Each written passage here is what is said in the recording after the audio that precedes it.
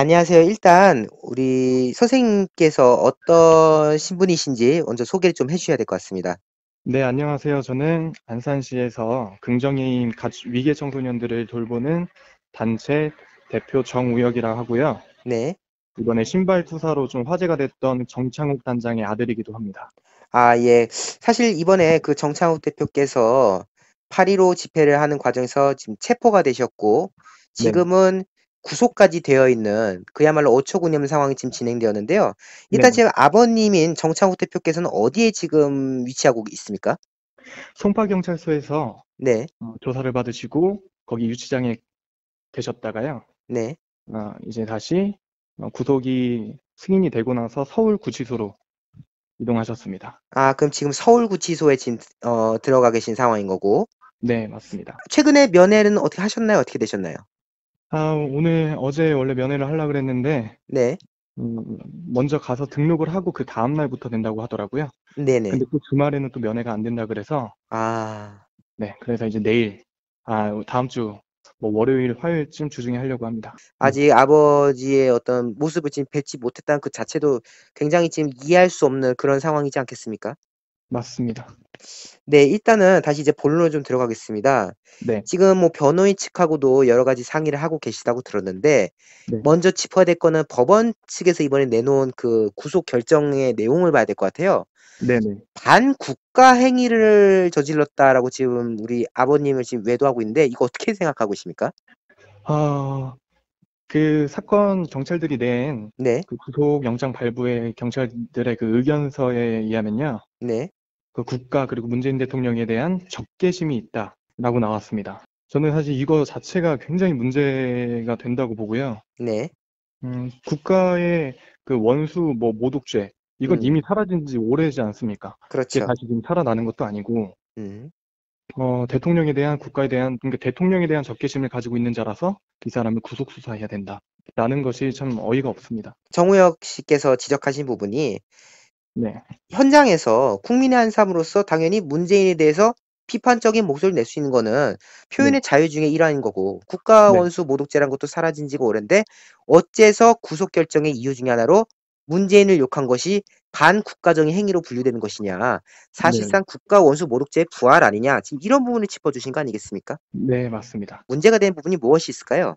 어, 정창욱 단장님이 잡혀가 들어가게 된 계기가 네, 경북폭력 1차 저지선 쪽에 계시다가 거기 시민들이랑 경찰들이 대치 중이었습니다. 네네, 그러다가 그 뒤쪽에 청와대 방향으로 가는 그 인도 쪽에는 아무런 제지가 없더라고요. 네, 그래서 그분들 뭐 몇몇 시민분들도 거기로 오 가길래 음, 그냥 단장님이 그쪽으로 걸어가고 계셨답니다. 네, 근데 그 왼쪽에 있는 통일파출소에 경찰들이 한 15명 가량이 서 있었대요. 예예.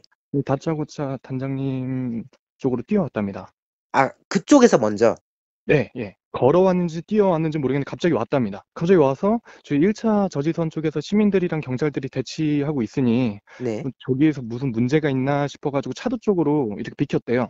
그런데 다시 차도 쪽으로 와가지고 포이즌을 만들었다고 합니다. 네, 지금 새로운 사실들을 계속 말씀해 주고 계세요. 결국 경찰들이 먼저 정창욱 대표를 알아보고 네, 정창욱 대표를 향해서 접근을 했다. 그리고 거기에 대해서 정창욱 대표는 무슨 일이 있나 하면서 약간 길을 옆쪽으로 빠졌는데 네네. 그쪽으로도 경찰들이 계속 뒤쫓아서 포위를 했다. 그거 아니겠습니까? 맞습니다. 그리고 나서 포위를 하니까 아니 단장님 이쪽으로 가면 이쪽으로 포위하고 이쪽으로 가면 이쪽으로 계속 포위를 하니까 좀 비켜라 나는 지나가겠다라고 이게 비집고 딱 들어가려는 그 찰나에 네. 앞에 있던 경찰관이 단장님이 기부스를 차고 계셨어요. 예, 예. 기부스를 잡고 비, 비틀어 버린 거예요. 지금 그러니까 지금 경찰이 먼저 폭력을 행사했다는 거지 않습니까? 그렇죠. 무력을 행사한 겁니다. 그리고 그게 뭐 자기네들 땅에서 뭐 정당 진압일 수도 있겠지만은 어쨌든 그, 그 팔을 이렇게 비트는 그 와중에 다친 팔이니까 당연히 비틀면 아프잖아요. 기부스를 하고 있는 팔을 비틀어가지고 아, 정청훈 단장이 아 아프다고 하면서 이렇게 뿌리쳤나 봐요. 뿌리치고 난 후에 네. 그 뿌리치는 그 기부스를 뭐 자기네들이 맞았는지 안 맞았는지는 저는 확실히 잘 모르겠습니다. 네. 근데 그 이후에 경찰관이 지금 경찰관을 폭행하셨으니까 공무집행방해죄로 체포하겠습니다. 라고 하고 잡아뜨리고 진압을 시작하라 한 거예요. 아, 잡아뜨리고 나서 그 목덜미를 또 무릎으로 또 내리 찍어가지고 눌렀어요. 그리고 그 기부스 참 팔을 또 비틀고 땅바닥으로 몇 번 이렇게 찍었나 봐요. 그래서 팔 기부수가 부러졌습니다. 아예. 아, 단토박이 났어요. 특히나 그 한 경찰관이 네. 느껴졌답니다. 그런 아- 어떤 원인 모를 악감정을 가지고 특히나 자기를 막 제압하고 이렇게 했다라는 것들을 느껴져서 아직도 생생히 얼굴을 기억을 한다라고 하고 그 경찰관이 폭행을 당했다던 김 경찰관이라는 사람이에요. 김 경찰관이라는 김- 사람이 유독 악의적으로 물리력을 행사했다. 오히려 정창훈 대표가 큰 원더 부상을 당하는 과정이 있었다. 그 부분 지금 짚어주신 겁니까? 네네 맞습니다. 어, 지금 굉장히 말씀을 들어보니까 심각한 일들이 많습니다. 네. 결국 지금 경찰 측에서는 오히려 정창훈 대표가 경찰을 때렸기 때문에 공무집행 방해로 체포했다라고 주장하지만 지금 현재 우리 정우혁 씨께서 주장하신 내용을 저희가 말씀을 드리자면은 오히려 저들이 기부스 착용을 하고 있는 정창훈 대표 사실 경찰 측 입장에서 누가 봐도 딱 보면 알지 않습니까? 구속을 시도하려고 했던 바가 있기 때문에 이 네. 경찰이 오히려 정창훈 대표를 딱 보고 딱 표적으로 삼아서 어 잘 걸렸다 저 사람 어떻게 해야 된다 라고 해서 뒤쫓아갔고 그 과정에서 음. 그들이 먼저 물리력을 행사했고 거기에 대해서 이제 반작용이 있을 수밖에 없으니까 근데 네네. 그걸 가지고 때렸다고 경찰을 오히려 그래서 지금 네, 그 체포하고 담아서, 예. 강압적으로 목을 짓누르고 기부스를 아예 부셔버리고 그런 과정이 음. 이어졌다는 거 아닙니까? 예 맞습니다. 아, 좀 제가 지금 이렇게 하나하나 말씀해 주신 거를 정리하고 있지만은 어, 이게 너무나도 지금 충격적이라서 네. 이게 지금 대한민국 경찰이 이런 일을 할 수가 있는가 믿을 수가 없을 정도의 일들이 연속이네요. 네네 맞습니다. 혹시 이 외에 경찰 측에서 어떤 불이익이라던가 그런 부분은 없었습니까? 그 외에도 계속해서 나타났었는데 그 거기 관할지는 종로 경찰서입니다. 네. 네, 진짜 20km 떨어진 송파 경찰서로 이송을 또 해가지고 거기서 밤샘 조사를 또 하기 시작을 한 거예요. 그리고 어 그때 8.15 광화문 집회 때 30명이 체포가 됐어요. 30명이 체포가 됐는데 어 28명이 그 다음날 아침에 훈방 조치됐고 나머지 2명만 경찰이 구속영장 발부 신청을 했는데 음, 그 중에 한 명이 검정색 스타렉스를 가지고 그 광화문 집회에서 시위를 하는 그 시위대로 향해서 돌진을 한 그 태권도 관장 네. 이라는 전교조에 포함된 민주노총입니다. 좌파 쪽 네. 인사가 오히려 시위대들에게 차량 돌진을 했던 그런 인물이 한 명이 구속영장 청구됐고 또 네. 다른 한 명은 지금 이제 아버님이신 그 정창 대표신 거죠? 네, 맞습니다. 그리고 어떻게 상황이 됐나요? 그리고 아, 그 다음 날 모레일 거예요. 이제 둘 다 구속영장 실질 심사에서 그 태권도 관장이라는 사람 기각이 됐고, 시위대에 차량을 돌진했던 사람은 기각이 됐습니까? 네, 네. 그 사- 거의 살인 미수급으로 봐도 무방할 정도인데 차량 그렇죠. 돌진은 어, 그 사람은 기각이 됐고 저희 단장님은 증거를 인멸할 우려가 있기 때문에 구속을 승인해 버립니다. 아, 지금 굉장히 부당한 일이 벌어졌습니다. 정창훈 대표 같은 경우는 경찰에게 물리력을 행사한 바가 없고 오히려 경찰이 지금 정창훈 네. 대표를 표적으로 삼았던 정황들이 속속 드러나고 있는데 네. 그러한 정창훈 대표를 상대로 네. 구속을 시키는 지금 어떤 대응을 하고 계십니까? 일단 아, 저희가 경찰 쪽에서 네. 체증 카메라를 가지고 있었어요. 예, 예. 그 체증 카메라를 이용해서 이 법원에 증거물로 갖다 제출을 한 겁니다. 네. 자기네들이 팔을 비틀 때 정정우 단장이 그 뿌리치는 모습을 교묘하게 캡처를 해서 당신이 우리가 제아질을 하려고 할 때 이렇게 적극적으로 우리한테 이렇게 대응하지 않았느냐, 아하.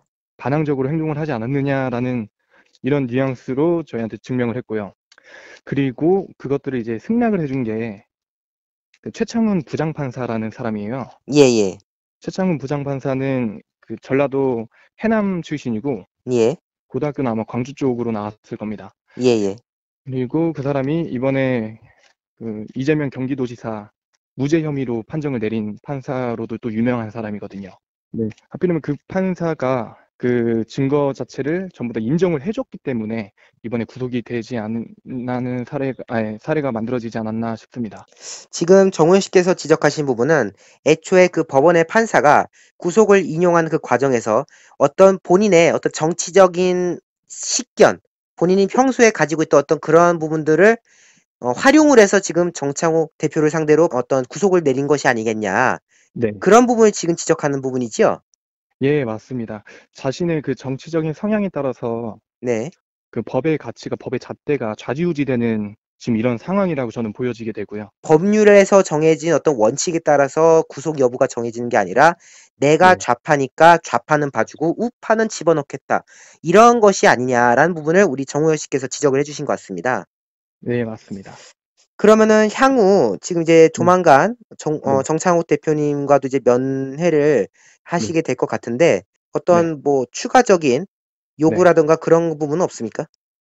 어, 저희 정창욱 그 단장님이 네. 저희 어머님이나 한 지인분은 이미 다녀오셨대요. 아, 예, 예. 네, 다녀오시고 나서 하고 싶은 말이 이제 옥중 편지를 좀 쓰고 싶다. 어, 자기가 이제 나갔던 특히 우파 유튜버 분들한테나 네네. 아니면 다른 유튜버 분들도 괜찮으니까 네. 옥중 편지를 좀 쓰고 싶어서 좀 주소를 네네. 좀 얻을 수 있나 그런 마음이 좀, 좀 계신 것 같습니다. 아, 그 주소는 제가 개인적으로 바로 문자로 좀 보내드리도록 하겠습니다. 그래서, 네, 알겠습니다. 어, 또 저희 정창훈 대표께서 저희 방송에서 여러 가지 목소리 내주셨기 때문에 당연히 또 우리 정창훈 대표의 목소리를 저희가 보도할 수 있도록 그 부분을 저희가 또 강구해 내도록 하겠습니다. 아, 예, 네, 감사드립니다. 경찰들의 그 증명 중에 또 하나는 사실 상식상, 상식적으로 생각을 해보면 말도 안 되는 증명, 이 의견서거든요. 이 정창욱 단장이 김도라는 경찰관이 방패를 들고 있었다고 합니다. 기동대예요. 그 방패 쪽으로 갑자기 달려가가지고 온몸으로 어깨로 그 방패를 밀치고 김도한테 너 한번 진짜 맞아볼래라고 하면서 목, 목과 이마 부위를 양팔로 때렸다고 합니다. 이게 경찰들의 의견서입니다. 경찰의 의견서에 따르면은 지금 유독 심하게 물리력 네. 행사했던 그 네. 사람을 향해서 네, 네. 대표가 너 맞아볼래라고 발언을 했다.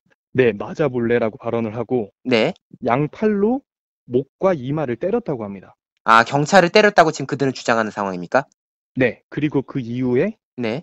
또 양팔로 한 5분 동안 옆에 있는 경찰관이 많지 않습니까? 네네. 그 경찰들을 양팔로 휘두르면서 주먹을 휘두르면서 또 위협을 가했다고 합니다. 거의 뭐 경찰 의견서 내용만 들어보면은 무슨 경찰을 상대로 어마무시한 폭행을 행사한 것처럼 지금 말하고 있네요. 네, 이거 진짜 말도 안 되는 소린 게 예.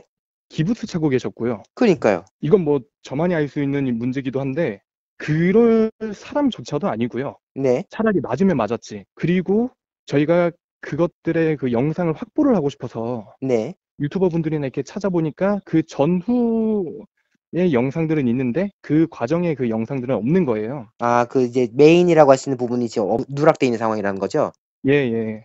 아하. 근데 가지고 있는 건 경찰들의 체증 카메라 영상뿐인데 그 체증 카메라 영상을 요구를 했더니 피의자들이랑은 증거 자료를 같이 이렇게 공유할 수 없다라고 하면서 거부를 합니다. 아, 이거는 침, 인권 침해 상황 아니겠습니까? 당연히 국민으로서 네. 부당하게 여겨질 수 있는 부분이 있기 때문에 어, 자료를 보자, 함께 CCTV 가려보자라고 당연히 주장할 수 있는 건데 피의자하고는 이걸 공유할 수 없다? 이게 지금 말이 네. 되는 겁니까? 아, 참 그게 참 그렇습니다. 아, 지금 우리 정우혁 씨께서 굉장히 어려운 싸움을 해나가고 있다는 지금 생각을 지울 수가 없는 네. 상황인데요. 어쨌든 경찰이 지금 회피를 하고 있는 상황인데 그래도 네. 뭐라도 대응을 해야 되지 않겠습니까? 어떤 방안들을 강구하고 계십니까? 지금 변호인 네. 세 분이 힘써서 도와주셨어요. 이명규 변호사님, 그리고 유승수 변호사님, 그리고 이경환 변호사님이 예, 예. 이제부터 투입이 돼가지고 도와주시려고 하고 있는데 일단 저희가 제일 먼저 해야 될 거는 영상 자료 확보예요. 그러려면은 이제 정보 공개 요청을 좀 하려고 하고 아하. 경찰 측에 그리고 어, CCTV가 요즘 다 달려 있지 않습니까? 아, 그렇죠. 거기도 당연히 있죠. 관할서 쪽 어, 기관에 가서 CCTV 자료 요청을 좀 하려고 합니다. 그리고 구속 적부심까지 생각을 좀 하고 있고요. 왜냐면 이거 정말 무죄니까 해야 될 것 같습니다. 구속 적 부심을 신청한다는 거는 지금 이 법원의 구속의 결정이 부당하기 때문에 거기에 네. 대해서 다시 한번 심사를 해야 된다라는 네. 취지로서 지금 하시는 거고 또 CCTV라던가 정보 공개 같은 경우는 지금 저들이 피의자하고는 정보를 공유할 수 없다라고 하면서 막고 있는 그런 것들에 네. 대해서 바로잡기 위한 그런 일환으로서 지금 추진하신다는 거 아니겠습니까? 네네 맞습니다. 지금 한변 소속의 여러 변호사분들께서 이렇게 지금 참여를 해주시는 것 같은데요. 끝까지 우리 정우영 씨께서도 여기에 대해서 목소리를 잃지 않고 내셔야 될 것 같고 네네. 또 이 정창욱 대표께서 또 국민들을 향해서 메시지를 또 보내고자 하시는 부분이 있다고 하니까 네. 그것도 저희가 빠른 시일 내로 전화해 네. 드릴 수 있는 그런 어떤 환경을 좀 조성해야 될 것 같습니다. 예. 마지막으로 우리 시청자 여러분들께 한 말씀은 좀 부탁드리도록 하겠습니다. 네, 어, 문재인 대통령은 국가의 수장입니다. 이 대한민국에서 가장 책임이 막강한 그 자리라고 생각을 해요. 네. 네, 현재 시점을 보면 대통령은 국민 탓을 하고 있는 시점으로밖에 보이지 않습니다. 이번에 광화문 집회 때 코로나 사건으로 광화문에 있는 모든 사람들을 코로나의 주범으로 만들려고 하는 이 모습들이 전 단장님이 이렇게 구속된 것보다 사실 마음이 더 아픈 것 같아요. 음, 음, 뭐 정광훈 목사님도 마찬가지고 뭐 여러, 여러 시민단체 분들을 어, 자기네들의 그 방역의 책임감을 국민들한테 떠안기는 이런 모습들이 참 너무 안타깝습니다. 그리고 지금 정치 단장님은 네. 어, 수년 동안 사회 생활을 하면서 오로지 그 정의와 그 공익만을 위해서 좀 살아오신 분이에요. 네네.